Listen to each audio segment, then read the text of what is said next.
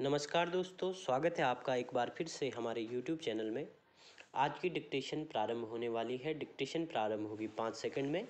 अगर अभी तक आप चैनल पर नए हैं तो सब्सक्राइब करें हमारे चैनल को, क्योंकि जल्द ही हम लाइव सेशन करेंगे डिक्टेशन को लेके। तो बेल आइकन भी प्रेस कर लीजिए, ताकि आपको लाइव क्लासेस का नोटिफिकेशन मिल जाए। तो आइए करते हैं स्टार्ट आज की डिक्टेशन। डिक्टेशन स्टार्ट होगी पाँच सेकंड में।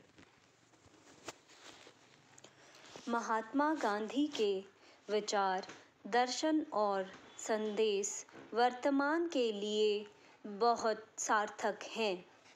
हमें कहना चाहिए कि वे ही तो एक धनात्मक तत्व हैं जो कि आधुनिक सभ्यता को सर्वनाश से बचा सकते हैं।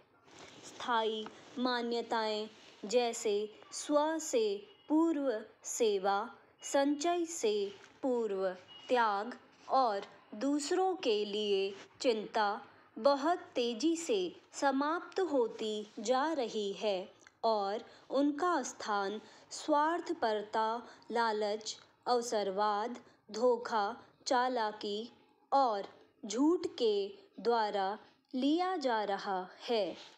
इन सबने द्वंद्वों और संघर्षों को जन्म दिया है और सहिष्णुता तथा मानव प्रेम के उच्च आदर्श कमज़ोर पड़ते जा रहे हैं।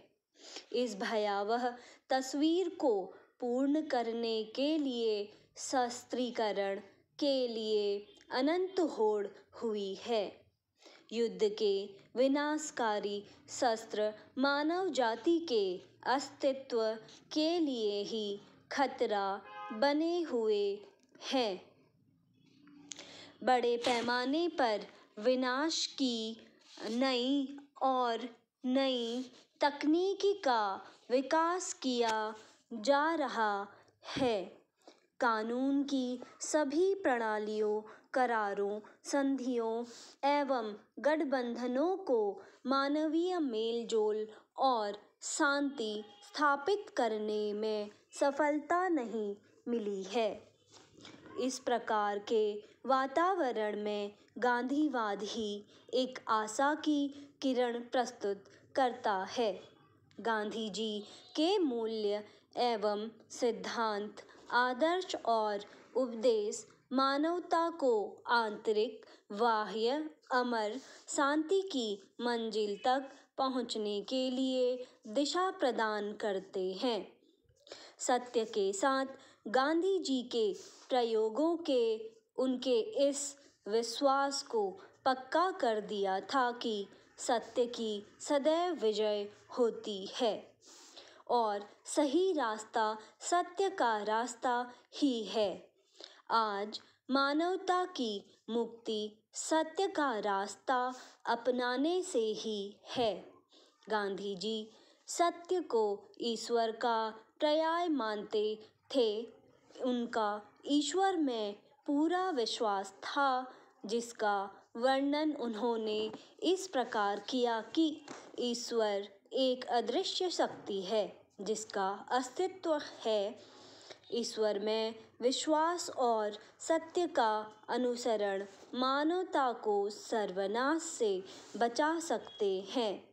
ईश्वर और सत्य से घनिष्ठ रूप से संबद्ध गांधी जी का अहिंसा में विश्वास है। वास्तव में अहिंसा गांधी दर्शन का आधार स्तंभ है। अहिंसा का सत्य से बहुत गहरा संबंध है।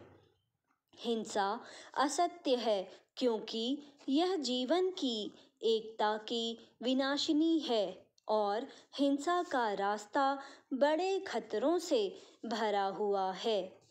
शांति दुनिया में तभी स्थापित की जा सकती है जब हम अहिंसा का अनुसरण करें। गांधी जी अहिंसक योद्धा थे। वे स्वयं दुख एवं बलिदान झेलकर विरोध के विरुद्ध संघर्ष करते थे।